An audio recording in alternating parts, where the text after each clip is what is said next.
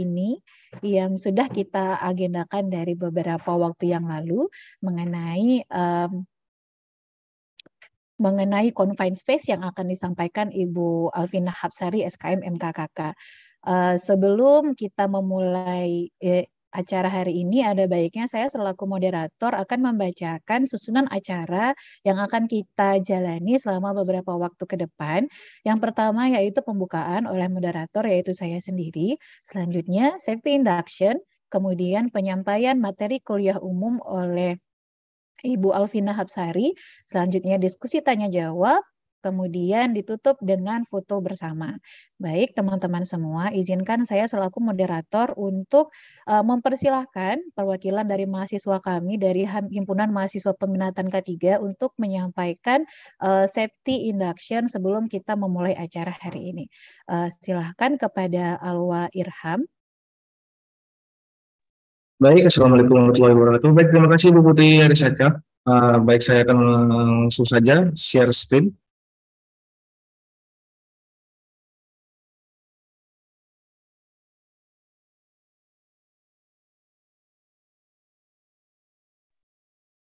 Baik, Assalamualaikum warahmatullahi wabarakatuh. Selamat bergabung dalam kegiatan Public Health Lecture Series kali ini yang dilaksanakan secara daring menggunakan platform Zoom.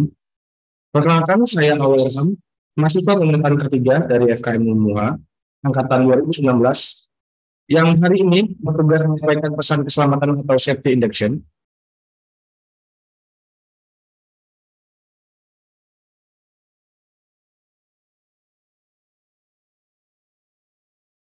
Oke. Okay. Kegiatan ini dilaksanakan secara daring yang memungkinkan Bapak Ibu atau Ibu beserta teman-teman peserta untuk mengikuti dari rumah atau tempat kerja yang atau, atau tempat kerja masing-masing. Untuk kesehatan dan keselamatan Anda, selama mengikuti kegiatan ini, kami akan sampaikan beberapa hal yang harus kita lakukan. Yang pertama, mohon seluruh peserta memperhatikan cara duduk ergonomis, yaitu cara duduk yang aman selama sesi kuliah umum. Yang pertama dulu tegak, tidak membungkuk, posisi leher tegap, tidak menunduk ke depan, tapi posisi sehingga sedaran menampang tekuk tulang belakang. Yang kedua, perhatikan jarak aman. Jarak mata terhadap layar PC, laptop, ataupun perangkat seluler Anda, atur agar tidak terlalu dekat dengan layar untuk untuk mengurangi risiko pancaran radiasi yang dapat menimbulkan kelelahan pada mata. Perhatikan perhatikan kelistrikan seperti penggunaan stop kontak dengan beban berlebar serta jalur kabel dari perangkat Anda. Tidak melakukan aktivitas lain membahayakan keselamatan seperti berkendara. Lalu berikutnya, istirahatkan mata 20 20 20 setiap 20 menit menatap layar monitor, istirahatkan mata Anda selama 20 detik dengan melepaskan pandangan mata sejauh 20 feet atau minimal 6 meter. Lalu lakukan peregangan untuk mengenai tubuh Anda setelah duduk dan, dan menonton depan layar monitor. Selanjutnya saat ini tidak ada agenda simulasi gawat darurat. Sehingga jika ada peringatan untuk evakuasi, hal tersebut merupakan kejadian yang sebenarnya. Saya ulangi, untuk saat ini tidak ada agenda simulasi gawat darurat, sehingga jika ada peringatan untuk evakuasi, hal tersebut merupakan kejadian yang sebenarnya.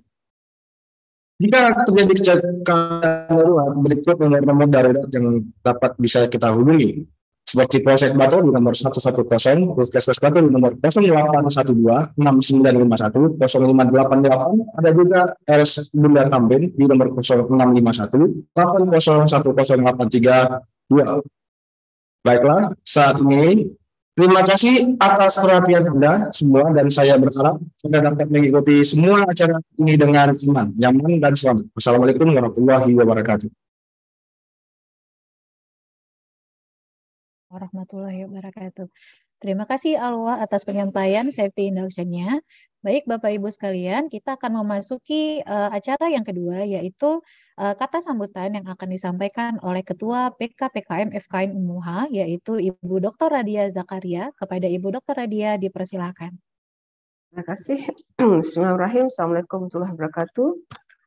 Alhamdulillah, uh, puji dan syukur kita panjatkan kehadirat Allah karena pada uh, siang menjelang sore hari ini kita masih dapat berkumpul uh, untuk mengikuti kuliah umum pada sore hari ini. Terima kasih saya ucapkan kepada Ibu uh, Putri Sari sebagai moderator pada siang hari ini. Dan selamat datang kepada Ibu Alvina. Terima kasih telah menyempatkan waktu untuk sharing ilmu kepada kami di sini. Sebagai gambaran umum PKPKM merupakan singkatan dan ya sama-sama.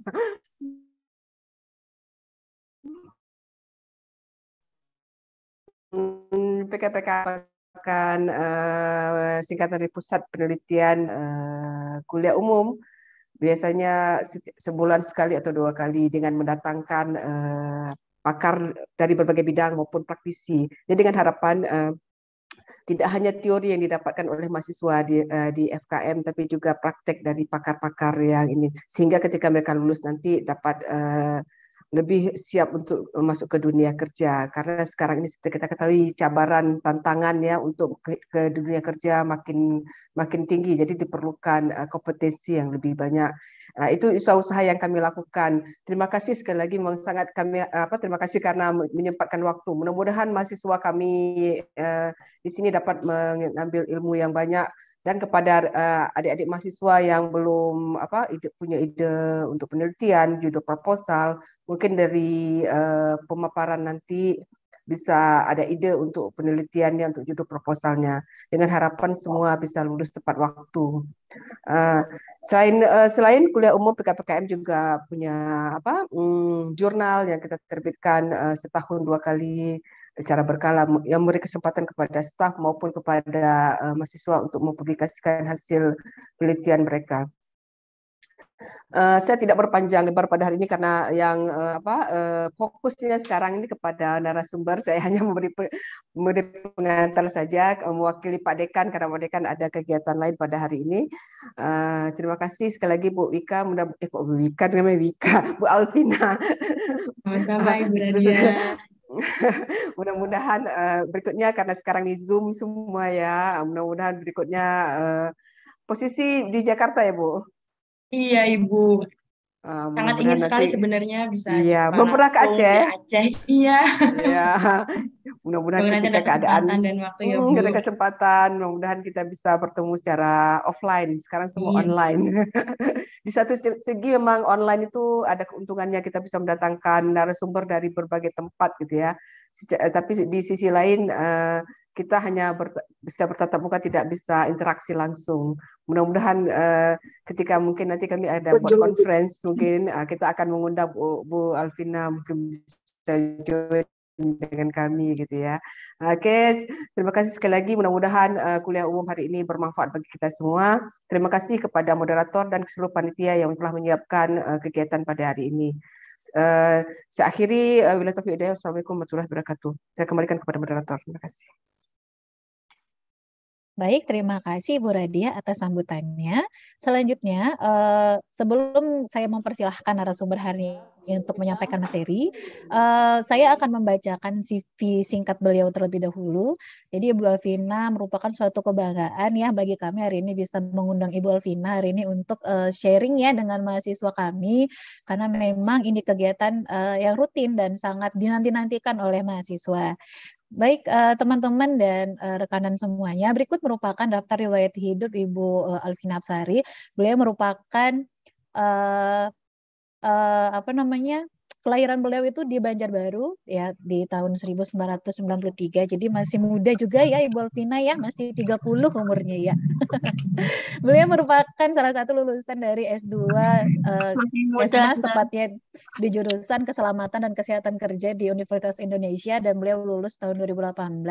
Saat ini beliau uh, menduduki jabatan sebagai junior expert uh, health safety and environment pada PT Wijaya Karya Kemudian uh, beliau tentunya sudah memiliki banyak sekali riwayat sertifikasi training dan tentunya uh, riwayat pekerjaan yang cukup banyak di lingkungan Wijaya Karya. Beliau memulai karirnya sebagai seorang HSE di tahun 2015 dan bergabung dengan Wijaya Karya pada posisi sebagai Staff Koordinator Quality Safety Health Environment Sipil Umum, te, uh, tepatnya pada divisi infrastructure.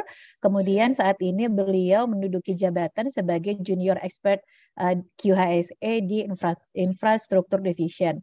Beliau juga memiliki uh, beliau merupakan salah satu tenaga ahli yang sudah tersertified training beberapa training ya mulai dari internasional OSHA profesional uh, sertifikasi ahli media K3 konstruksi, sertifikasi K3 lingkungan kerja dan sertifikasi ahli K3 konstruksi muda dan lain sebagainya tentunya beliau sudah dilengkapi dengan berbagai uh, pelatihan yang uh, spesifik di bidangnya sehingga beliau uh, memang sudah tidak kita lakukan lagi terhadap keahliannya di bidang konstruksi ya teman-teman dan Bapak Ibu sekalian. Baik tidak memperpanjang mukadimah selanjutnya kita akan sama-sama uh, mendengarkan kuliah umum yang akan disampaikan oleh Ibu Hafina mengenai uh, confined space di construction industry. Kepada Ibu Alvina saya persilahkan. Terima kasih kepada Mbak Putri. Manggilnya Mbak Putri ya, padahal biasanya saya manggilnya ini Bu, Sis Putri. Teman kelas. Salah satu besti ya ini yang menyaksikan perjuangan sama-sama ya, Mbak Putri. dulu ya. Iya, betul Mbak Alvina.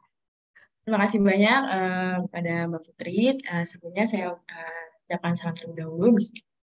Assalamualaikum warahmatullahi wabarakatuh.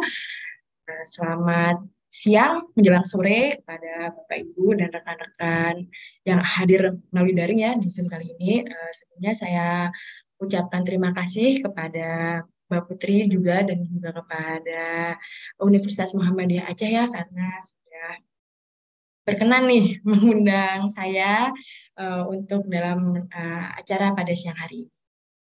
Uh, saya sampaikan juga saya sampaikan juga salam hormat saya kepada Bapak Dekan, uh, Dekan Universitas Dekan Fakultas Kesehatan Masyarakat Universitas Muhammadiyah Aceh, Bapak Dr. Basri Aramiko, yang saya hormati juga Ketua PKPKM FKM Unuha, Dr. Radi, Dr. Radia Zakaria, siang Ibu Radia, uh, yang saya hormati juga seluruh jajaran Wakil Dekan FKM Unuha dan juga yang saya hormati seluruh dosen dan mahasiswa serta peserta yang hadir mengikuti pada acara siang hari ini. Uh, sebenarnya saya ini juga sharing ya Bapak Ibu rekan-rekan semua. Jadi nanti kita sifatnya lebih mungkin interaktif, lebih banyak diskusi, lebih banyak sharing. Jadi uh, bagaimana sih uh, ibaratnya nih seperti yang tadi Mbak Putri bilang ya dan Ibu Radia juga bilang mungkin teorinya nih teman-teman, ibu-ibu, bapak-bapak sudah kita dapatkan namun bagaimana sih aplikasinya di lapangan karena kan memang saat kita menerapkan sebuah teori di lapangan itu kan uh, banyak ini ya, banyak tantangan-tantangan juga seperti itu yang harus kita lakukan.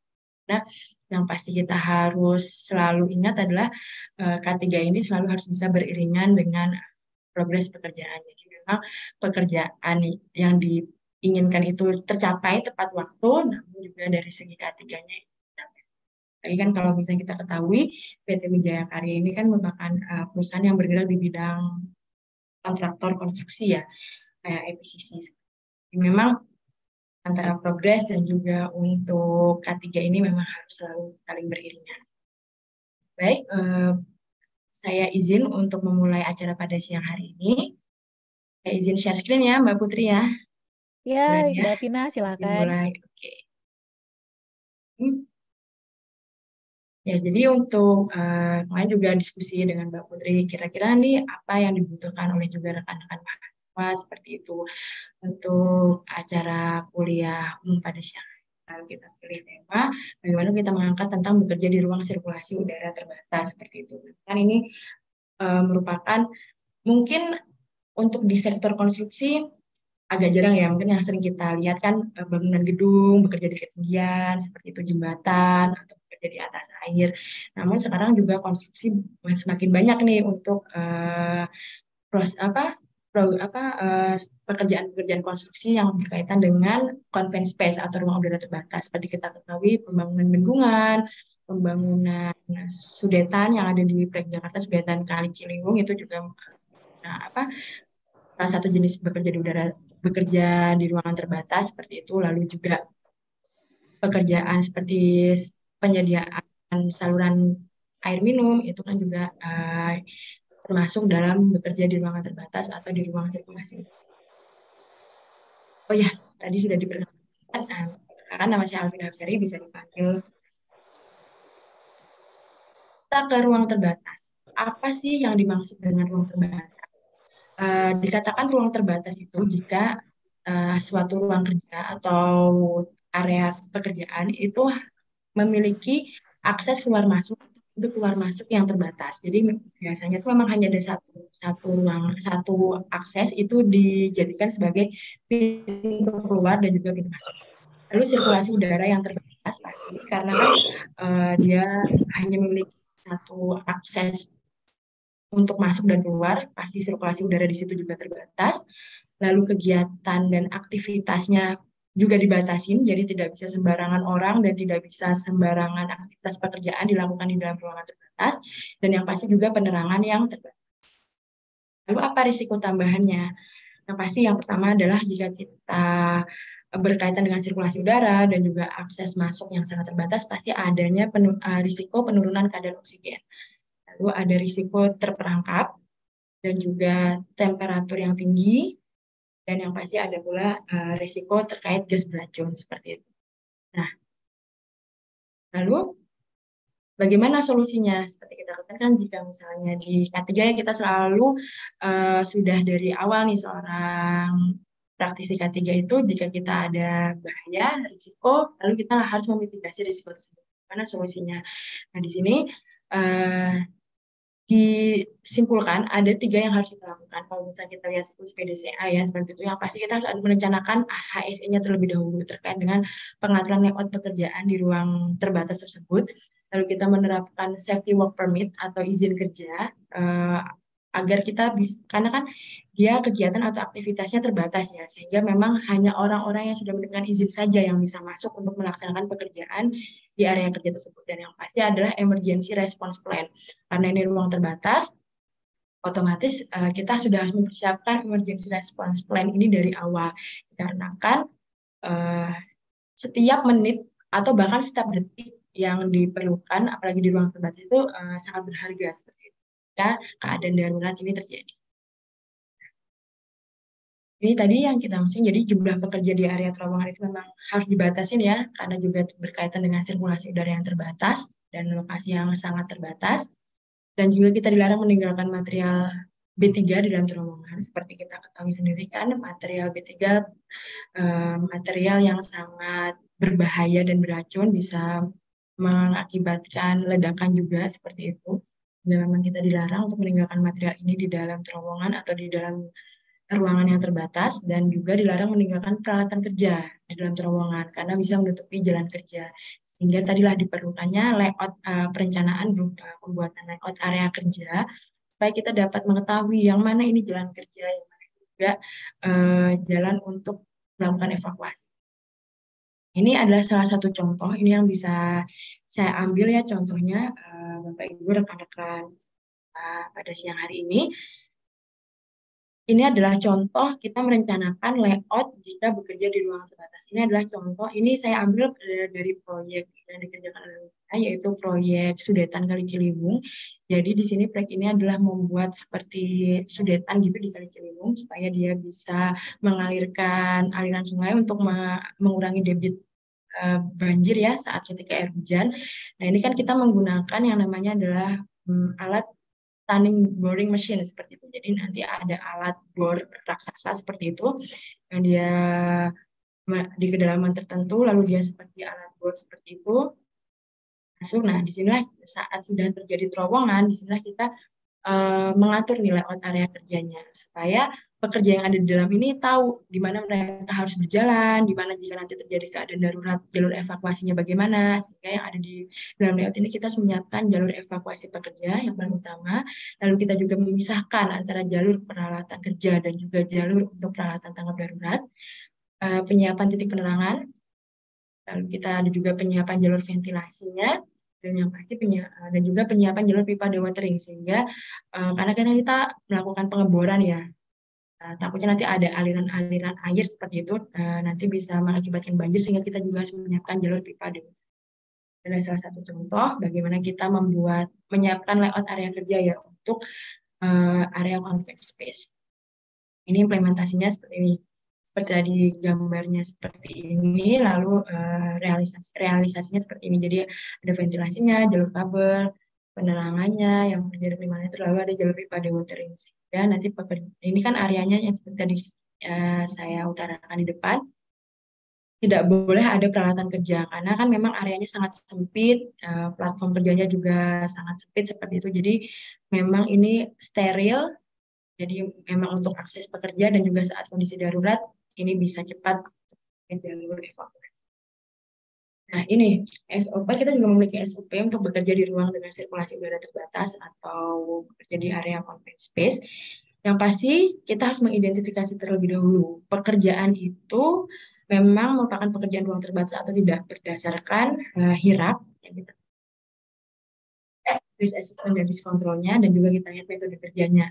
Jika memang tidak, jika berdasarkan hasil identifikasi tersebut tidak memenuhi sebagai, uh, tidak memenuhi kriteria untuk untuk sebagai pekerjaan ruang terbatas, maka kita kategorikan non-confined space. Tapi mem jika iya dari hasil identifikasi tersebut ternyata uh, pekerjaan ini merupakan uh, pekerjaan ruang terbatas, maka yang perlu kita lakukan pertama yang pasti adalah perambuan. Jadi kita memang uh, lokalisir uh, wilayah itu, lokalisir area tersebut dengan perambuan yang menyatakan bahwa memang area ini memang area ruang terbatas seperti itu.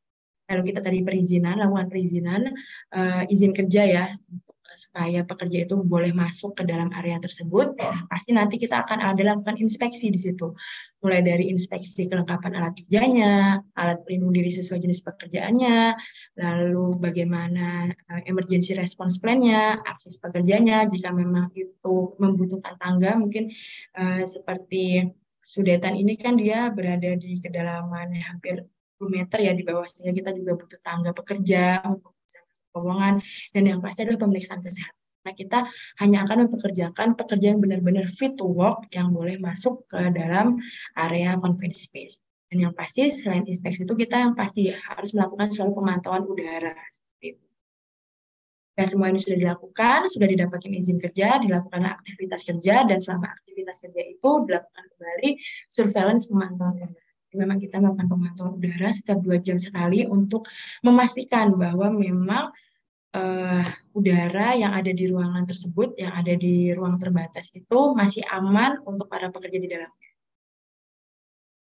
Ini contoh rambu ya, rambu sebagai uh, media informasi kita kepada seluruh pekerja. Karena kan kalau di track ini pasti nggak hanya ada pekerjaan conference space kan ada juga pekerja-pekerja lain yang tidak bekerja di conference space. Nah Salah satu upaya kita untuk menginformasikan tersebut adalah dengan RAM. Ini kita langsung masuk. Jadi uh, seperti kita ketahui sama juga uh, untuk hal-halnya pekerjaan yang lain pasti kita uh, harus melakukan HSE induction dahulu pada seluruh pekerja yang akan melakukan pekerjaan. Pula bagi pekerja yang akan melakukan pekerjaan di PNS. Nah, untuk uh, flowchartnya sendiri uh, kita lakukan dengan pretest untuk mengukur nih. Jadi sudah sejauh mana sih pengetahuan para pekerja nih untuk bekerja di area confined space, lalu kita berikan materi induction, kita lakukan post test. Nah, uh, jika kita memiliki cut off ya, uh, ini saya kasih contoh untuk di proyek Lancang Bangun Spam Regional Jatiluhur. Jadi di proyek ini adalah uh, proyek yang membangun saluran pipa air minum seperti itu ini juga menggunakan seperti sudetan tadi menggunakan boring otomatis ya mini TBM. Nah, jadi di sini kita nilai nih uh, jika para pekerja tadi mengerjakan post test ternyata nilainya minimal adalah 70%. Jika di bawah itu dinyatakan tidak lulus, maka dia harus melakukan induction lagi. Jika pekerja tersebut lulus, kita registrasi data pekerja dan kita beri stiker seperti itu ya. Kita beri stiker, kita beri ID card, bahwa memang pekerja ini sudah lulus untuk uh, melaksanakan induction confined space. Langkah selanjutnya, setelah mereka di induction, kita harus melaksanakan HSE training terkait confined space. Karena memang uh, di peraturan perusahaan juga sudah dinyatakan bahwa hanya orang yang berkompeten atau yang sudah melaksanakan training, sudah mengikuti pelatihan yang boleh melaksanakan aktivitas pekerjaan di area confined space.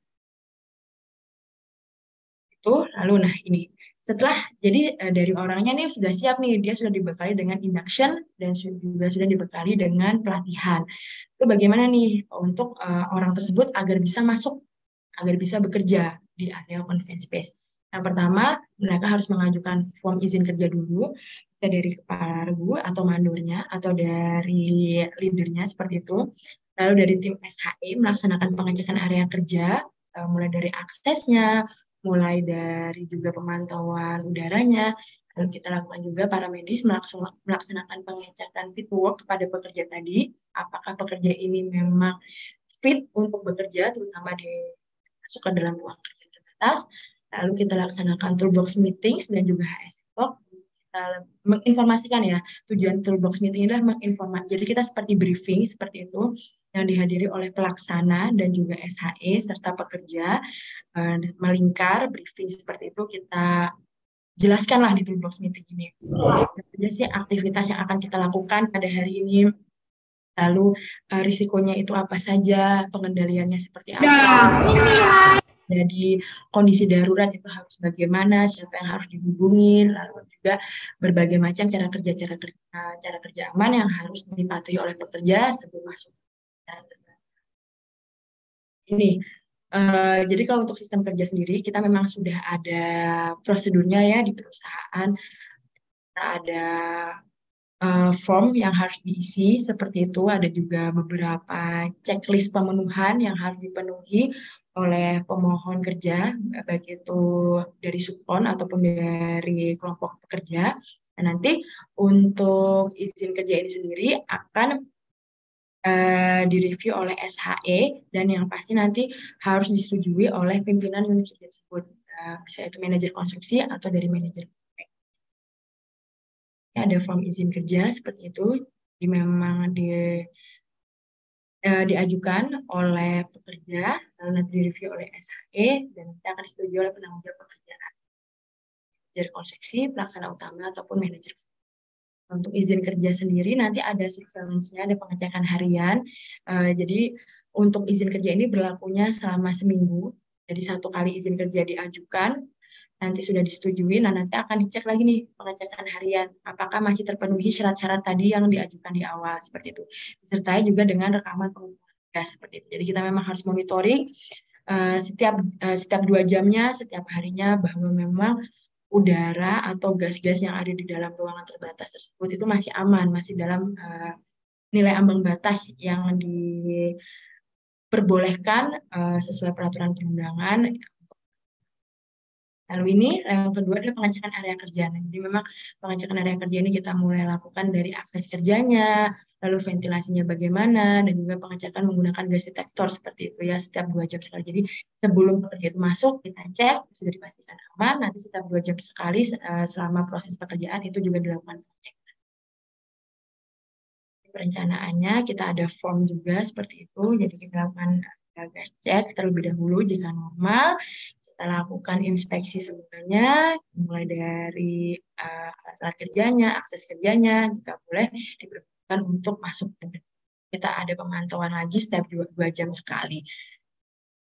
Jika ternyata uh, setelah kita melakukan pengukuran gas didapatkan nih kan ada, kalau untuk gas detektor ini kita ada empat gas ya yang uh, yang benar-benar kita harus pastikan dia berada di bawah nilai ambang batas. Nah, sesuai dengan nilai ambang batas yaitu ada karbon monoksida, karbon dioksida, hidrogen sulfida dan juga gas metannya. Dan yang pasti adalah oksigen. Kalau oksigen kan dia harus lebih dari 19% seperti itu ya. Nanti dimunculkan dari gas detektor seperti itu. Uh, jika sudah memenuhi nih semuanya sudah aman, uh, lalu disertai juga dengan inspeksi lainnya terkait area kerjanya sudah dipastikan aman, Baca checklist tadi diizin kerja baru jadi ini ya, gas detektornya seperti itu jadi dia memang yang bisa mengetahui CO, hidrogen sulfida, oksigen, gas metan. Ini contoh pelaksanaannya setiap dua jam. Ini contoh yang di spam ya karena dia memang uh, area terowongannya itu tingginya apa uh, sangat rendah, hampir kurang dari 3 meter sehingga diperlukanlah backdash patrol untuk memudahkan safety officer atau safety watcher untuk melakukan pemeriksaan gas oksigen setiap 2 jam sekali. Nah, selanjutnya setelah kita pastikan area kerja ini aman, kita juga harus memastikan pekerja ini memang fit untuk Nah, di sini uh, dia ada pemeriksaan keseimbangan juga. Ada formnya yang dia fit, dinyatakan fit, dia boleh bekerja. Jika dia dinyatakan tidak fit, maka dia tidak diperbolehkan dan juga uh, ada beberapa persyaratan kesehatan yang pasti pekerja yang untuk masuk ke ruang terbatas itu bebas dari penyakit Dan itu juga di PTWK itu sudah di aplik, apa uh, sudah memiliki aplikasi terkait fit to work seperti itu. Jadi memang SO ataupun pelaksana di lapangan itu bisa langsung uh, melakukan ini ya apa pendataan itu di aplikasi fit to work. Nanti untuk uh, rekan-rekan yang ada di kantor pusat ataupun di divisi itu sudah bisa langsung memonitoring seperti itu. Jadi real time uh, ada bekerja, ada pekerja yang fit atau yang unfit seperti itu setiap harinya. Nah itu setelah izin kerja didapat karena uh, setelah area kerja dipastikan aman, pekerja dipastikan fit, langkah yang selanjutnya kita lakukan adalah toolbox meeting. Jadi toolbox meeting ini uh, seperti briefing ya, kita lakukan dengan melingkar supaya pelaksana dan juga SHE-nya ini bisa tahu nih uh, respon dari pekerja mereka tuh benar-benar paham atau tidak sih dengan yang kita laksanakan.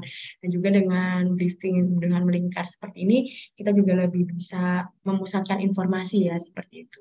Memang uh, di toolbox meeting inilah wah apa ya media bagi kita untuk menginformasikan terkait langkah-langkah kerja yang akan kita laksanakan di dalam, lalu juga mitigasinya seperti apa, lalu jika ada keadaan darurat bagaimana juga untuk evakuasi Nah, seperti itu.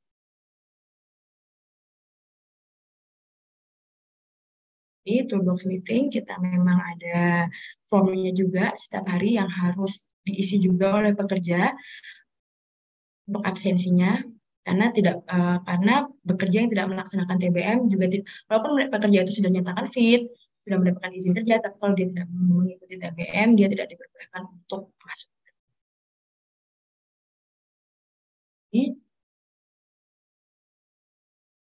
Lalu setelah itu kita lakukan pengendalian akses masuk. Jadi kita ada yang namanya box permit seperti itu. Nah di box permit ini uh, gelap. Ini contohnya ya, contoh di salah satu proyek seperti itu. Minimal yang harus dipenuhi di box permit itu. Jadi form formnya harus ada. Form gas detector yang menyatakan bahwa uh, form permit to work yang sudah sampai disah, disetujui oleh pimpinan yang kerja atau manajer konstruksi atau manajer proyek itu sudah ada form gas detektor yang menyatakan bahwa kandungan udara di dalam ruang terbatas tersebut aman dan masih memenuhi NAB yang dipersyaratkan itu sudah ada. Lalu juga TBM tadi sudah diisi dan juga sudah diisi absennya oleh para pekerja yang TBM. Eh, lalu juga ada tadi ya daftar izin masuk ruang terbatas tadi yang termasuk form permit to work, siapa-siapa orangnya, form cek kesehatan pekerja. Jadi orang-orang yang akan masuk itu sudah ada form fit to work-nya. Ini sertifikat welder, ini dibutuhkan jika memang ada pekerjaan pengawasan di dalam terowongan tersebut, kita harus ada sertifikat welder. Kartu tanda pengenal, jadi ID card pekerja tadi yang sudah diberi stiker safety induction, itu harus ada di dalam box permit ini. Nah, lalu ada juga tagging induction ruang terbatas ada di box permit. Nah, hal-hal ini uh, sebagai monitoring baik pelaksana ataupun safety officer yang berada di ya, luar area conference space ya. Supaya kita bisa tahu nih ada berapa orang sih yang ada di dalam ruangan tersebut ada siapa saja sih yang ada di dalam ruangan tersebut maka uh, diperlukanlah informasi tersebut harus ada di dalam box permit uh, yang yang diletakkan di luar area conference space ini juga ada salah satu inovasi untuk pengendalian akses masuk uh, yang ada di proyek Sudetan seperti itu. Jadi kita memanfaatkan tapping gate. Uh, di pekerja itu diberikan tapping gate. Jadi mereka itu boleh masuk jika uh, boleh masuk dengan melakukan tapping. Nah, nanti dari tapping ini nanti dia akan kelihatan tuh uh, berapa jumlah orang yang ada. Nah, seperti ini. Jadi yang setiap pekerja memasuki area area driving safe itu kan mungkin tadi ya uh, kalau misalnya secara manual nanti mungkin kita takutnya ada miss seperti itu ya. Nah dengan adanya tapping seperti ini kan tidak bisa. Karena semua yang masuk itu harus melakukan tapping jadi kita ketahuan oh ada berapa jumlah orang sih yang ada di dalam seperti itu.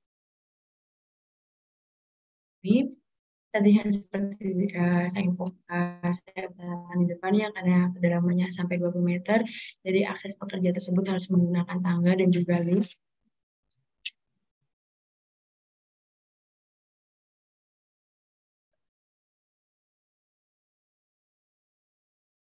ini. Nah, lalu uh, itu tadi untuk uh, proses pekerja masuknya sampai ke dalam. Nah, ini adalah seperti kita ketahui tadi bahwa emergency response plan untuk confined space ini memang harus kita rencanakan di awal karena seperti tadi kita bilang uh, dia areanya terbatas. Semuanya serba terbatas sehingga setiap menit bahkan setiap detik waktu yang kita perlukan untuk mengevakuasi korban itu sangat amat berharga seperti itu sehingga kita memang harus merencanakan semua kesiapannya itu dari awal mulai dari perlengkapannya mulai dari dan juga jalur evakuasinya dan juga kesiapsiagaan dari hmm, petugas tanggap daruratnya itu sendiri. Ya, pasti kita ada namanya 3L ya yang untuk informasikan kepada pekerja apa-apa saja yang uh, dilarang untuk dilakukan di dalam konvensi space tersebut dan juga bagaimana jalur-jalur evakuasinya tanda evakuasi dan gondola. Ini contohnya seperti yang disebutkan tadi karena dia berada di kedalaman 20 meter. Jadi untuk mengevakuasi pekerja, eh, kita menggunakan bantuan dari lifting crane untuk mengangkat kita juga lakukan inspeksi peralatan tanggap darurat ya. Jadi inspeksi ini tidak hanya dilakukan untuk area kerja, tapi kita juga harus melakukan untuk peralatan tanggap daruratnya. E, jangan sampai semua peralatan yang sudah kita sediakan saat adanya kondisi darurat malah tidak bisa digunakan, karena itu juga tidak ada gunanya. Jika kita memang harus lakukan inspeksi ini uh, secara periodik seperti itu untuk memastikan fungsi dari setiap peralatan tanggap darurat ini masih berfungsi dan layak untuk nih uh, setelah jalur evakuasinya ada, lalu juga peralatannya lengkap dan sudah kita inspeksi secara periodik, uh, petugas tanggap daruratnya pun juga harus kita lakukan pelatihan seperti itu. Contohnya ada kita juga bersama dengan dari pihak damkar ya untuk pelatihan penggunaan SCBA. Jadi kan SCBA ini uh, alat bantu ya alat bantu untuk pernapasan kita juga harus pastikan di awal bagaimana sih jalur komunikasi tanggap darurat. Karena kan susah ya kalau di ruang terbatas itu kan tidak terlihat seperti itu. Sinyal juga susah mungkin. Jadi memang eh, bagaimana sih tim lapangan itu dapat memodifikasi agar jalur komunikasi tanggap darurat dari area confined space ini bisa sampai ke eh, koordinator utama atau manajer proyek yang berada misalnya di kantor seperti itu. Kita di sini kita menggunakan infom misalnya dari operator kabinnya ya eh, bagaimana dia jika ada kondisi darurat nanti dia harus alurnya ke tim safety yang ada di permukaan, tim safety yang di permukaan nanti menginformasikan lagi ke tim safety yang ada di terowongan atau uh, safety watcher tadi ya yang dia rutin melaksanakan pengecekan gas setiap dua jam sekali lalu ada koordinator tim teknis. Uh, jadi safety permukaan nanti dia bertanggung jawab untuk meneruskan jalur komunikasi ini bahwa ada keadaan darurat ke safety yang ada di terowongan dan juga ke koordinator tim teknis yaitu manajer konstruksi atau pelaksana utama yang ada di lapangan. Nanti koordinator tim teknis inilah yang harus menginformasikan uh, adanya apa kondisi kondisi darurat ini ke koordinator utama atau manajer proyek. Jadi kita juga harus infokan dari awal jadi uh, tidak chaos gitu ya nanti karena kan pasti ya kalau ada kondisi darurat itu lawan utamanya itu adalah panik seperti itu. Kalau misalnya kita sudah informasikan ini di awal, makanya ini pentingnya TBM tadi ya, karena uh, kita bisa informasikan kalau ada keadaan darurat, siapa-siapa yang harus dihubungin supaya jelas seperti itu. Ini uh, mungkin kita bisa sama-sama menyaksikan ya, ini ada salah satu contoh nih, bagaimana sih simulasi tanggap darurat uh, jika ada pekerjaan pingsan di dalam terowongan. Ini saya ambil contoh untuk proyek Sudetan, sama-sama nonton filmnya bareng ya rekan-rekan Bapak dan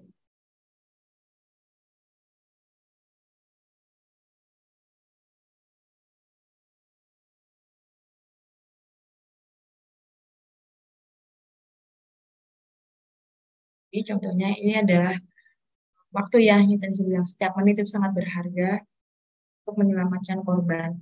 Ini dia skenario nya di sini teman-teman Black itu waktu itu melaksanakan simulasi pekerja pingsan. Menit setelah ditemukan,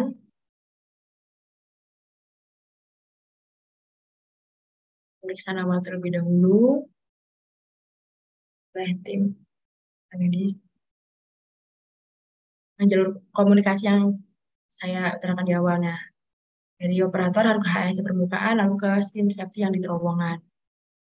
Lalu juga dari tim safety di permukaan tadi ke manajer konstruksi dan juga ke manajer proyek. Jadi memang pimpinan unit kerja itu tahu gitu ada kondisi darurat walaupun uh, beliau tidak berada di area kerja tersebut setelah dilakukan pemeriksaan, korban tidak bisa ditangani dan harus segera dibawa ke rumah sakit.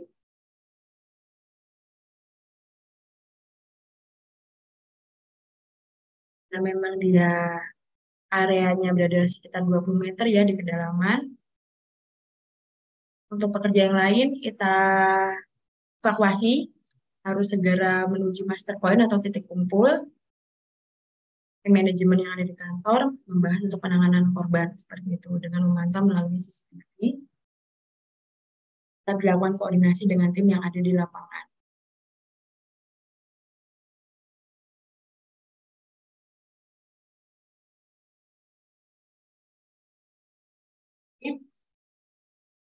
Pukul 10 lewat 11. Persiapan ambulan, yang tadi yang, yang saya infokan Gundula. Jadi ini salah satu mitigasi risiko yang dibuat teman-teman di proyek uh, untuk mengevakuasi korban yang berada di area confined space dan juga dia berada di kedalaman sekitar 20 meter.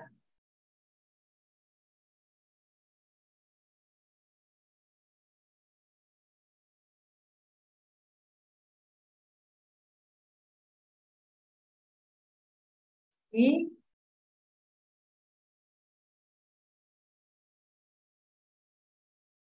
gondola dan juga lifting crane beserta alat bantu angkat, begitu juga webbing atau ya memang kita harus inspeksi juga berkala seperti itu. Dan ini uh, termasuk dalam juga peralatan tanggap darurat yang digunakan saat evakuasi korban.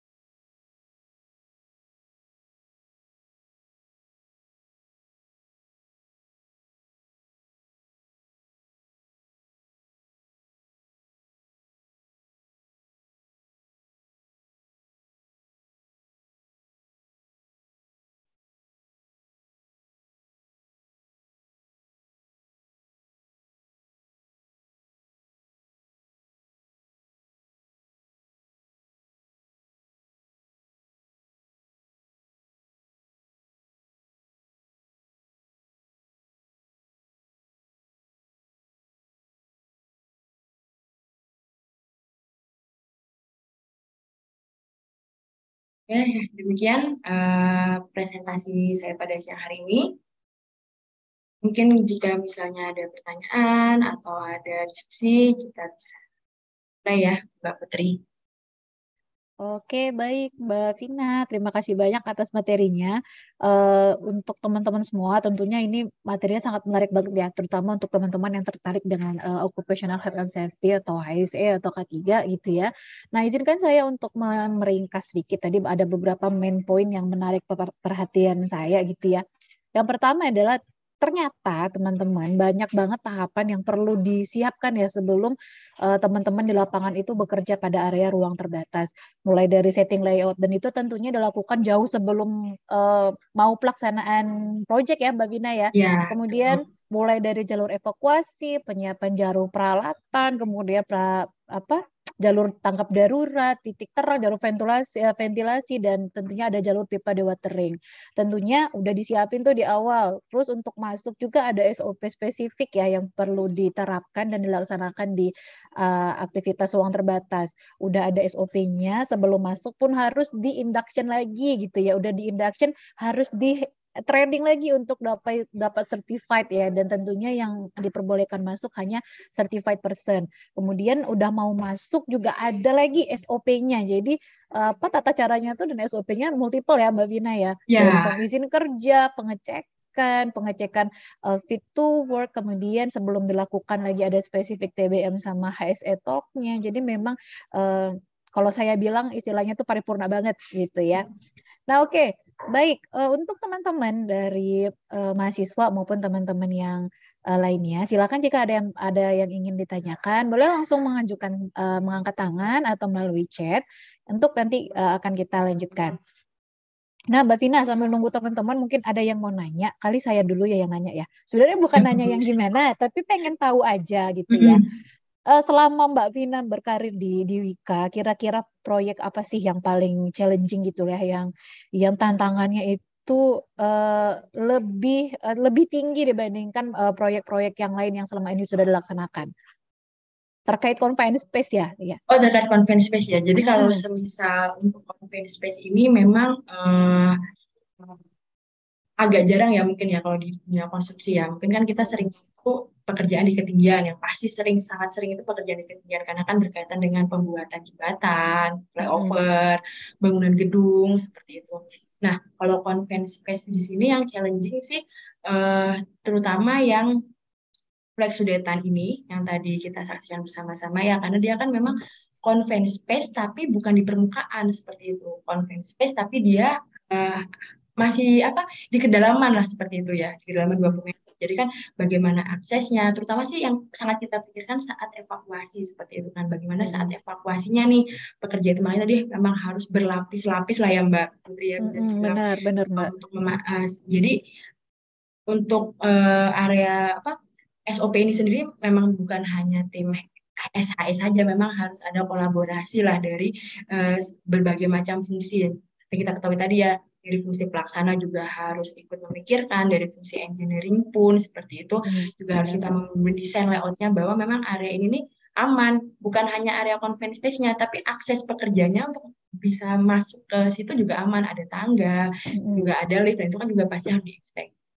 selain Sudetan ini yang terbaru lagi adalah ini alhamdulillah sudah akan diresmikan nanti mungkin bagi bapak ibu atau rekan-rekan yang main-main ke Jakarta ya ini bisa. Memang dia nggak kelihatan di dalam, tapi kan uh, dia nanti uh, ada seperti apa ya uh, ruang terbuka hijau. Nah nanti di situ juga akan di ada mock up mock up bagaimana kegiatan itu dari awal sampai akhirnya seperti jadi bisa sambil dilihat pemain ke Jakarta bisa ke daerah Otista.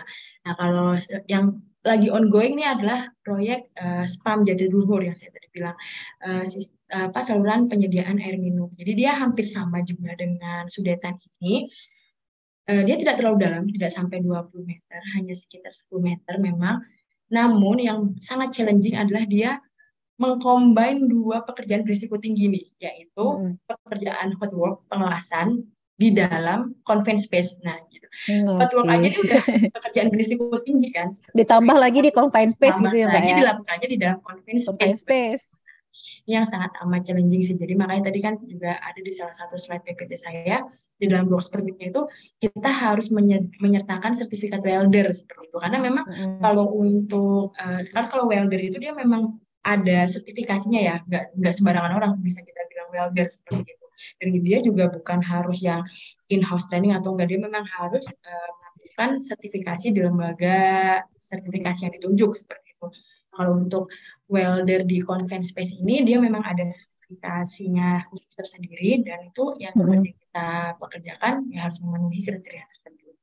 Yep. Jadi ini yang terbaru ini sih Mbak yang di proyeknya di daerah Bekasi mm-hmm. itu dia membuat saluran penyediaan air minum seperti itu tapi itu challengingnya. Jadi ada pekerjaan hot work di dalam area conference space.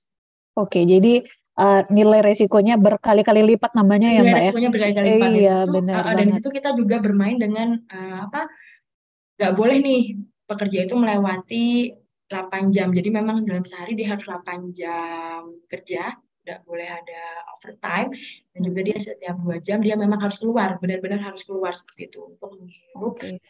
uh, eh, apa ya oksigen yang benar-benar di udara bebas karena kan seperti kita ketahui ya kalau misalnya hot work pasti dia apa ada gas-gas yang ditimbulkan juga kan dari proses Oke, baik Mbak Vina.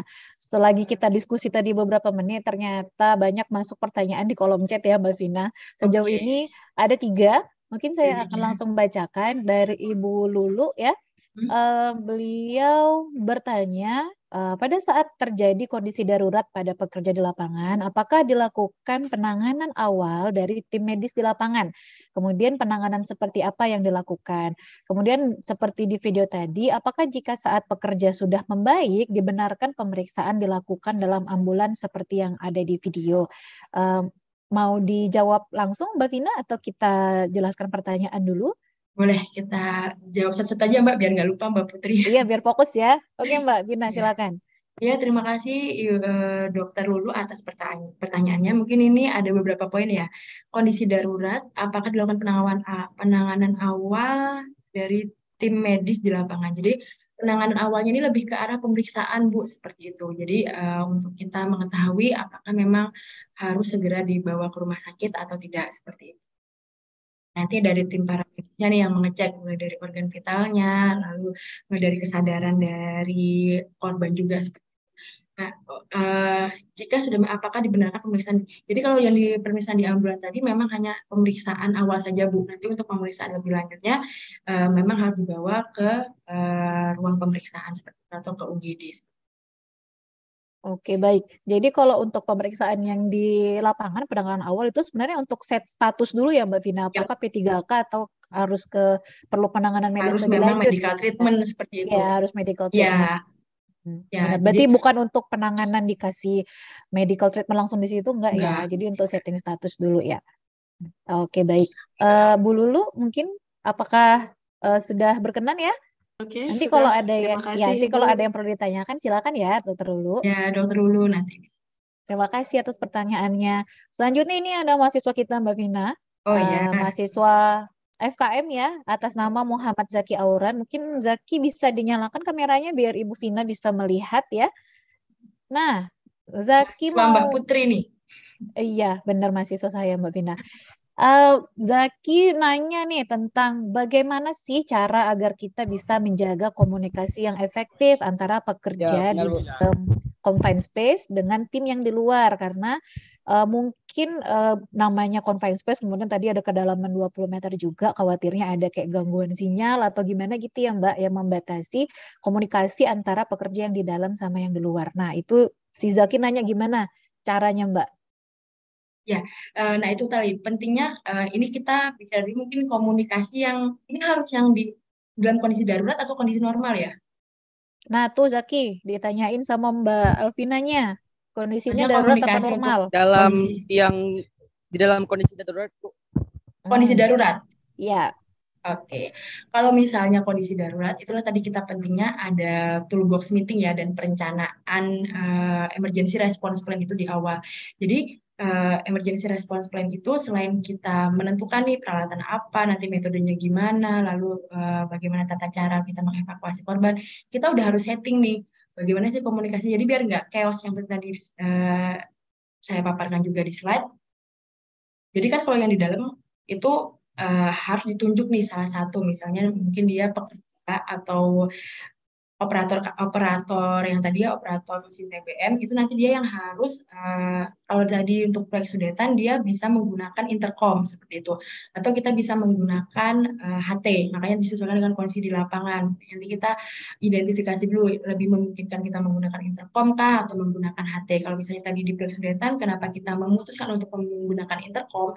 Karena memang tidak ada sinyal kan? Uh, maksudnya sinyal HT itu nggak nggak bisa nih mencapai sampai ke dalam 20 meter. Tapi kalau misalnya di proyek spam itu dengan kedalaman uh, 5 sampai 10 meter dia masih memungkinkan untuk bisa menggunakan HT dan lokasinya kan di eh, masih di tengah kota. Jadi kita memang harus identifikasi dulu nih alat komunikasi apa yang bisa kita gunakan uh, untuk mendukung komunikasi tanggap darurat ini seperti itu. Nah, hal itu kita sosialisasikan ke petugas tanggap darurat kita kan makanya kita uh, ada struktur organisasi tanggap darurat. Jadi sebelum dilakukan simulasi itu kita sosialisasikan terus. Lalu uh, kita juga ada papan informasi K3. Di papan informasi K3 itu kita juga uh, uh, pasang uh, pasang seperti poster ya, poster alur komunikasi dan yang pasti uh, adanya safety officer atau yang dia bertindak sebagai safety watcher ya. Jadi dia memang setiap periodik uh, yang pasti dia setiap dua jam sekali ini dia masuk untuk melakukan pengukuran gas itu dia juga sekalian memantau kondisi yang ada di dalam juga uh, apakah ada pekerja yang mungkin apa ya sudah mulai apa uh, lemas atau bagaimana gitu. Nah, selain dua jam itu dia juga melakukan inspeksi berkala ya sekitar satu jam sekali seperti di luar yang dua jam untuk pengukuran rutin gas tadi seperti jadi memang kita harus setting semuanya itu di awal, perencanaannya harus kuat, lalu kita harus komunikasikan uh, saat TBM. Makanya tadi kenapa TBM itu sangat amat penting dilakukan sebelum pekerja itu masuk. Walaupun informasinya ya udah itu-itu aja karena mungkin pekerjaannya kan di dalam repetitif ya. Tapi memang harus setiap uh, setiap hari atau bahkan setiap awal mulai shift misalnya nih ada dua shift. Shift pagi, shift malam kan beda lagi ya orang-orang. Itu harus TBM lagi mereka seperti itu juga uh, papan informasi itu ya walaupun uh, media kalau seperti poster itu susah ya kita untuk bisa mengetahui apakah iya nih dibaca tapi kan setidaknya itu hmm. adalah salah satu upaya dari kita ya untuk informasikan seperti itu. Yang paling utama kita rencanakan dulu dengan matang di awal melalui emergency response plan itu, lalu kita komunikasikan melalui TBM. Dan dengan adanya simulasi tanggap darurat ini, itu jadi lebih melatih kesiapsiagaan dari uh, para personil-personil tim tanggap darurat tadi bagaimana sih alur komunikasi mereka jika ada keadaan darurat yang terjadi. Seperti Oke, itu. Baik. Gimana ini manggilnya? Zaki gitu. Adek, Dedek Zaki kali ya lebih tepatnya ya. Zaki gimana Mas Zaki? Sudah Apakah ada yang lagi? Oke, okay. berarti memang sampai pemilihan uh, alat komunikasinya juga itu menjadi komponen yang sangat dipertimbangkan ya Mbak Vina, hmm. mengingat uh, apa namanya area kerja kita yang uh, modelnya seperti itu sehingga yeah. semua alat komunikasi bisa dipakai ya. Dan hmm. tentunya yang paling penting menurut saya itu diuji cobakan gitu ya sebelum Tuh, simulasi. running project, simulasi dicoba dulu efektif nggak nih kita kalau pakai alat uh, media komunikasi seperti ini gitu ya. Oke, okay. uh, ada lagi nih Mbak Mbak Vina dari Dila Nazara, mahasiswa nah. FKM juga. Uh, Dila mungkin bisa diaktifkan videonya. Nah, oke, okay. ini Dila Nazara mahasiswa saya juga. Uh, Dila nanya, apakah pengecekan kesehatan pada seluruh pekerja, termasuk pengecekan riwayat penyakit kronis uh, seperti hipertensi atau lainnya, itu dilakukan juga selain tadi pengecekan uh, fisik ya, fisikal untuk uh, menentukan statusnya fit to work atau tidak. Nah, apa ada pengecekan ini nggak Mbak penyakit uh, kronis atau riwayat penyakit lainnya? Ada, pasti. Ini yang seperti tadi ada di Jadi memang kalau fit to work itu kan dia uh, untuk dailynya ya. Jadi apakah uh, dia ini benar-benar fit nih untuk bekerja? Kan itu nanti kita cek apakah dia sebelumnya ada konsumsi obat-obatan yang menyebabkan mengantuk, lalu dia apakah ada konsumsi alkohol. Ada beberapa list-list pertanyaan yang ada di aplikasi Work itu yang akan ditanyakan para medis selain juga uh, tadi tes keseimbangannya. Nah ini persyaratan kesehatan. Jadi memang uh, nih uh, dia harus dipastikan nih bebas dari sakit ini ya. Ini kan kita screening saat induction. Kesehatan ini nanti kita ibaratnya validasi lagi lah saat di lapangan. Jadi kan memang screening awalnya saat induction ya, tapi misalnya nanti saat pemeriksaan kesehatan kita screening lagi apakah benar nih mereka ada riwayat penyakit atau tidak. Jadi memang uh, di, awal dilakukan screening saat induction, lalu saat pemeriksaan fit work di lapangan tuh kita tanyakan lagi ke pekerjanya. Selain memang dengan pemeriksaan fit work yang untuk fisik physically ya hmm. kita juga harus tahu nih riwayat penyakitnya. Karena memang harus orang-orang pekerja-pekerja yang bebas dari penyakit-penyakit tadi ya Mbak Dila yang diperbolehkan untuk masuk ke dalam area kerja. Walaupun secara physically fit worknya dinyatakan fit, tapi ternyata dia ada riwayat pekerjaan, ya dia tidak diperbolehkan untuk masuk ke dalam. Nah, memang Oke, harus begitu. Orang yang tadi yang kata Mbak Ibu Putri bilang certified dan juga memang harus fit, benar-benar fit. Dan nggak hanya fisik, ternyata ada pemeriksaan apa ya mental health juga ya Mbak Vina ya? Ya riwayat riwayat kesehatannya hmm. kita juga harus tracing seperti itu. Hmm. Oke okay, baik. Gimana Dila? Oke. Okay.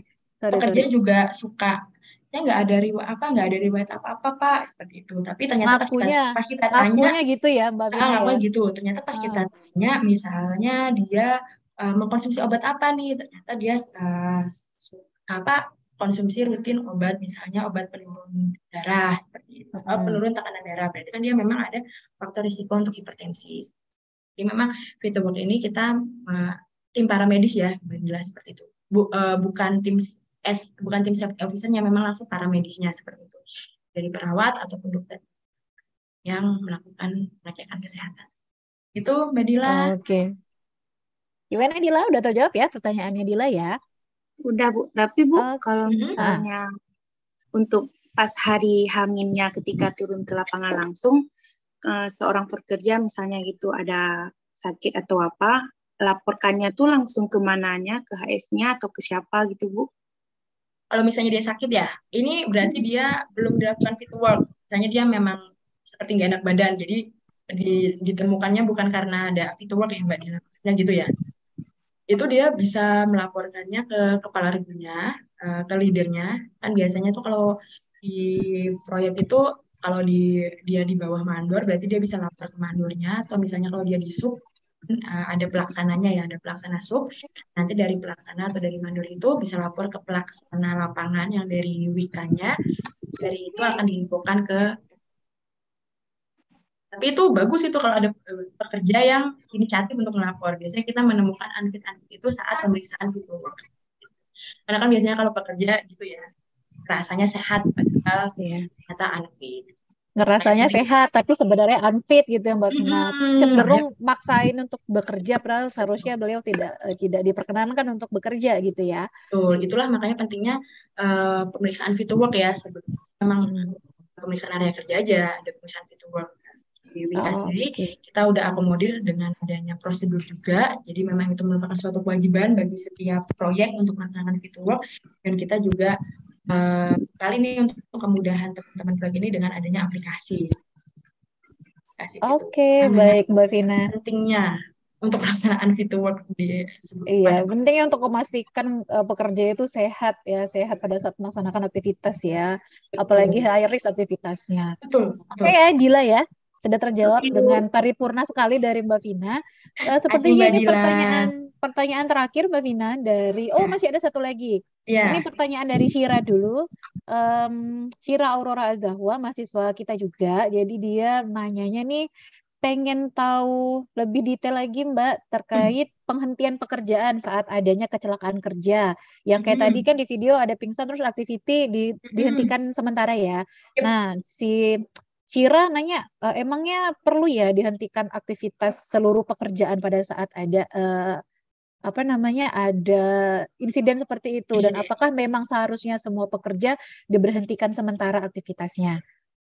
Oke, terima kasih. Cira, Ciranya mana? Boleh diaktifkan videonya?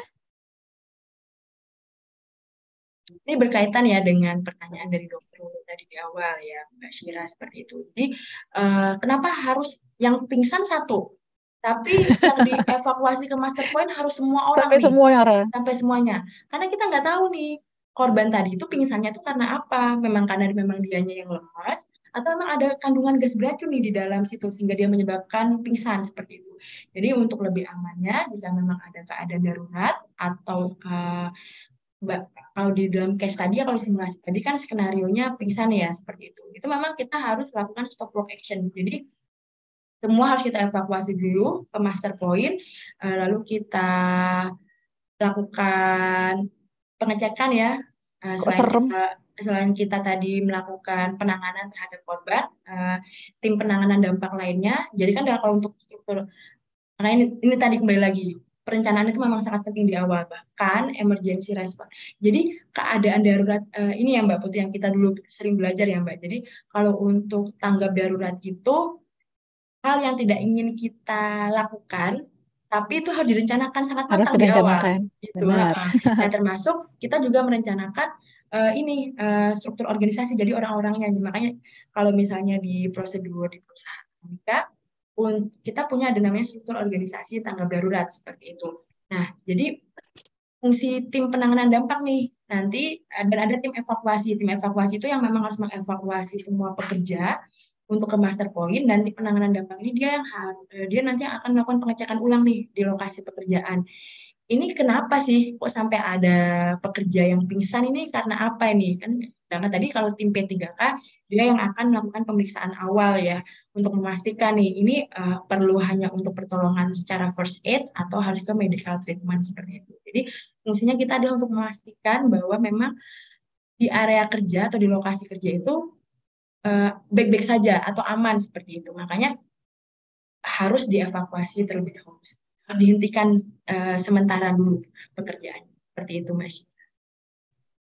Oke, setelah semuanya dicek benar-benar aman, baru aktivitas dilanjutkan kembali ya, Mbak. Betul, baru Iya, walaupun ada resiko apa ya penundaan aktivitas ya, ya seharusnya kita punya target sekian-sekian di hari yang sama, tapi terhalang atau terhenti sementara karena ada insiden seperti itu gitu ya. Betul, karena kan kita nggak tahu ya kalau semisal misalnya nih ada yang pingsan itu itu penyebabnya kenapa gitu. Memang kita harus melakukan pengecekan secara mendetail terlebih dahulu, secara lengkap.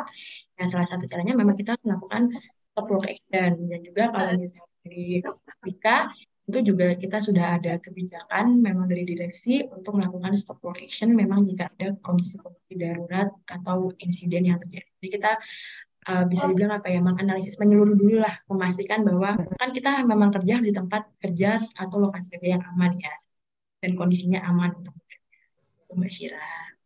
Uh, berarti Bu hmm. harus dilakukan identifikasi masalahnya dulu, uh, mas identifikasi masalahnya dulu ya, baru bisa uh, dilakukan kembali aktivitas pekerjaan itu. Betul Mbak Syira. Jadi kita cari dulu nih, kenapa sih ada masalah apa sih gitu. Kalau misalnya di simulasi tadi kan skenario nya ada masalah apa nih kalau misal kok korban tiba-tiba pingsan, jangan-jangan ada gas beracun atau ada kandungan gas tadi yang kita lakukan pemantauan, dia ternyata melebihi ambang batas. Ya, rekan-rekan yang lainnya, pekerja-pekerja yang lainnya harus kita evaluasi. Betul, kita identifikasi masalahnya terlebih. Apa keadaan darurat tersebut terjadi. Oke, baik. Terima kasih Mbak Bina. Mungkin ini pertanyaan terakhir ya dari uh, Jeffrey Kurniawan dari PT Solusi Bangun Andalas. Beliau salah satu alumni kita juga nih, Jeffrey. Iya. Gimana nih Jeffrey nih? On cam dong, Jeff. Oke, Jeffrey ini mau nanya. Jika pada sebuah pekerjaan penggalian tiba-tiba ditemukan sebuah manhole yang tidak diprediksi sebelumnya, apakah manhole tersebut dikategorikan sebagai area terbatas? Jadi ini ada beberapa pertanyaan sih Mbak Vina. Jika iya, maka dibutuhkan permit bekerja ruang terbatas. Pertanyaan saya, Apakah harus dilakukan pengukuran kadar gas terlebih dahulu, kemudian mengurus izin kerja, dan menghentikan pekerjaan penggalian, atau dapat meneruskan melakukan pekerjaan penggalian dengan mengabaikan manhole tersebut? Agak panjang nih. Ya, makanya benar-benar ini banget ya. Sering relate terjadi. Tiba-tiba kerja. Relate ya, relate ya ternyata tiba -tiba ya. kita temukan manhole. Mm -hmm. Nah, yang harus kita Eh, kita harus kembali lagi ke konsep apa tadi ruang terbatas tadi gitu ya. Karakteristiknya apa? Nah dia kan karakteristiknya dia memiliki potensi untuk menampung atmosfer atau darah beracun atau dia juga um, apa memiliki konfigurasi membuat orang masuk itu bisa terjebak seperti itu. Atau sesak napas karena kondisinya sangat amat terbatas. Nah, kalau manhole di sini ini kan ini berarti kalau manhole Ya kan berarti ini termasuk ke dalam lokasi pekerjaannya ya Pak Jeffrey ya, seperti itu. Pekerja kan bisa masuk situ, berarti ini memang area terbatas. Memang harus dilakukan adalah menghentikan pekerjaan, kita identifikasi lagi. Jadi eh, seperti yang slide saya yang ini, maaf. Kelihatan nggak ya Mbak Putri? Uh, belum Mbak.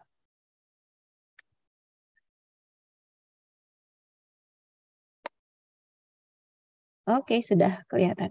Dan jadi kita kembalikan lagi ke sini. Jadi kan itu memang tidak teridentifikasi ya, tidak ada di hierarki kita, hmm. misalnya kayak gitulah. Gak tahu nih galian kok tiba-tiba ada manhole kayak gitu. Hmm. Kita kembalikan lagi ke SOP-nya yang di sini. Nah, oke. Okay. Ini kita identifikasi dulu. Ini memang termasuk pekerjaan ruang terbatas atau bukan seperti caranya yang memang kita uh, kalau dilihat secara dimensi, Menho memang ruang terbatas ya seperti itu. kita juga pastikan nih uh, dia untuk mengurus perizinan tadi uh, pekerja bisa masuk atau enggak ya tadi kita lakukan juga pemantauan. Ini memang harus dihentikan dan kita lakukan identifikasi apakah ia memang benar ini ruang terbatas atau tidak disertai dengan uh, kalau kan udah pasti nih ruang terbatas. Nah, supaya pekerja boleh masuk, boleh bekerja di situ untuk melanjutkan pekerjaan penggalian, dan kita harus lakukan SOP-nya lagi tadi, yaitu dengan kita lakukan inspeksi. Salah satunya dengan pemantauan udara. Apakah ada gas beracun atau tidak. Kalau memang jika tidak terdeteksi, berarti hole bisa diabaikan dan aktivitas kerja dilanjutkan ya Mbak Vina ya? Betul, tapi seandainya oh. memang itu terdeteksi, berarti hmm. kita harus memitigasi risiko itu. Uh, okay. Apakah metode kerja kita yang dirubahkah sehingga kita hmm. tidak harus menggali manhole tersebut, uh, atau bagaimana? Oke, okay, berarti di situlah posisi Hira itu bisa berubah kapan pun ya Mbak Vina ya? Betul, pasti. Iya, tiba-tiba lagi gali ketemu manhole kan Hira iya. berubah lagi, iya. prosedur berubah lagi gitu ya. Betul. Makanya itu Hira, bikin pusing ya? Iya, makanya kan dulu kita kalau pas zaman kuliah selalu diinfo kan Mbak Putri ya. Dan Mbak Putri iya, juga info ke, ke rekan-rekan mahasiswa, Hirak itu kalau misalnya satu proyek nih, misalnya kalau kita bicara di Wika proyek ya, Hirak itu sama misalnya dengan saat perencanaan atau saat tender, wah itu ada yang salah nih. Karena pasti saat proses di lapangan itu pasti akan selalu ada apa ya hal-hal mengejutkan atau surprise unpredictable surprise. gitu sebenarnya. Iya, unpredictable. Kita bayangin ya tiba-tiba ada, tiba-tiba kejadian ya, gitu ya. Nah, itulah fungsinya kayak kita identifikasi lagi ke hirap. Ini kan kalau dari hirap baru berlanjut tuh ke, ke yang lain mitigasinya gimana, program kerjanya. Iya, mengikuti hira ya, Mbak ya. Iya. Oke, baik. Uh, itu saya Pak Jeffrey. Tadi Pak Jeffrey-nya uh, sampaikan ke saya ya langsung bilang makasih banyak karena sedang standby lagi meeting dengan okay. GM katanya. Oh iya, agak-agak serem nih gitu ya. Nah baik, uh, saya rasa sudah selesai pertanyaannya Mbak Vina. Yeah. Ya. Uh, ternyata interaktif sekali ya. Saya ya, tadi mengira ada yang ini mahasiswanya ternyata banyak uh, penggemar mahasiswa banyak ya uh, interaktif sekali gitu ya saya menyimpulkannya. Nah, uh, sebelum kita mengclosing acara kali ini, nah kita ada agenda foto bersama nih Mbak Vina uh, antar apa oh, iya. uh, saya Mbak Vina dengan peserta dan teman-teman mahasiswa. Itu saya undang Ibu Polisi bergabung dengan kami dan teman-teman semuanya mohon di diaktifkan videonya untuk kita take a picture. Silakan. Kalau yang nggak aktifin kamera nggak ibu absen lo ya. ngancemnya gitu ya. oh iya ngancemnya gitu ya. Ngancem itu kan langsung nyala semua Mbak Mina kan. Tuh, yang nggak on cam nggak nggak ibu absen gitu. Nah ngancemnya gitu. Bener bener bener. Itu memang kalau misalnya minimnya apa ininya zoom tuh ya kayak gitu ya. Iya. Jadi komunikasinya itu kayak kurang kurang kurang kurang dua arah gitu satu arah dua arah. Nah tapi alhamdulillah teman-teman semua uh, aktif banget ya dan sangat excited yeah. ketika diumumkan wah ada kuliah umum dengan teman dari praktisi. Nah itu mereka tanpa saya tawarkan pun menawarkan diri gitu Mbak Vina. Jadi memang paling ditunggu-tunggu sama mahasiswa biasanya. Nah, Karena oke Bu dulu zaman kita kuliah juga kayak gitu ya Mbak Putri ya. Kalau misalnya ada dari praktis itu, wah ini kesempatan buat bertanya nih gimana sih cara kita mengaplikasi. Mungkin teori udah banyak nih dicekokin sama Iya, Ibu sama Ibu. Radia kan di kelas. Heeh. sih penerapan di lapangannya itu loh kayak gimana? Iya benar, itu yang nggak kita dapetin, apalagi terutama di Aceh itu kan kita nggak banyak industri ya Mbak Vina, jadi kesempatan kita untuk explore ke sana kemari itu agak sulit. Jadi salah Hmm. satu yang bisa kita lakukan untuk adik-adik mahasiswa ya dengan kuliah umum, undang praktisi gitu. Kita harapnya seperti itu. Apresiasi lah untuk Universitas Muhammadiyah Aceh udah ada program seperti ini ya, jadi untuk memudahkan rekan-rekan mahasiswa. Iya, oke Mbak Posi sudah bisa diambil fotonya atau dokumentasinya? Silakan. Iya, terima kasih Bu Putri. Uh, saya izin untuk mengambil fotonya kepada teman-teman semuanya untuk dapat menghidupkan videonya. Oke, saya ambil dari slide yang pertama. Satu, dua, tiga.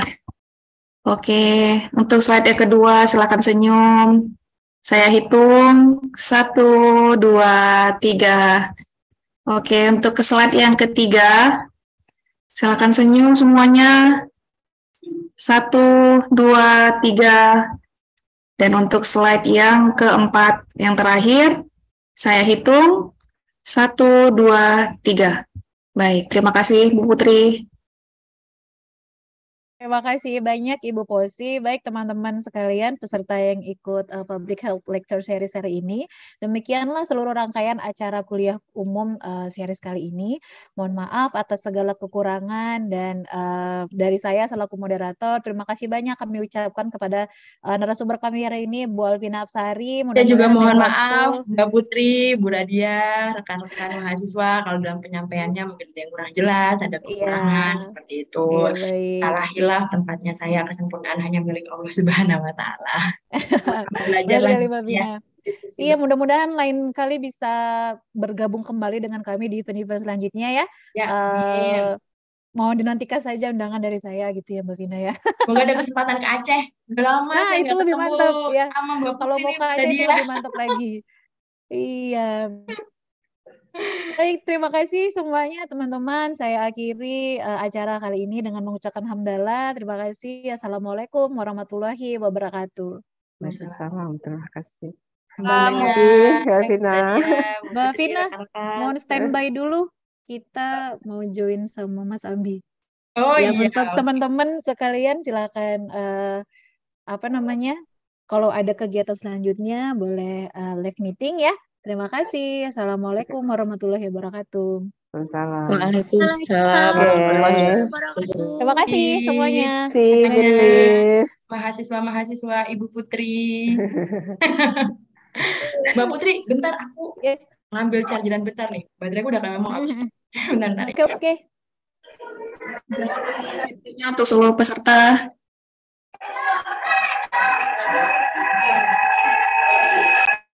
Bu Posi minjem Zoom-nya sebentar ya.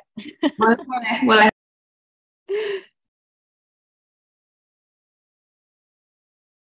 Oke, recording stop. Aman.